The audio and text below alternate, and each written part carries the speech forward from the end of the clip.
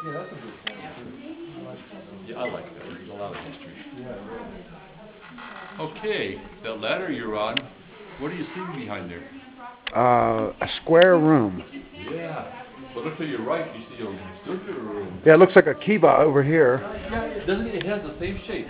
But you know what? Probably it wasn't because the Mogollon people, they did have kivas. They were not so sophisticated as those you see further north where they had circular kivas and real fancy, good finish on the ones.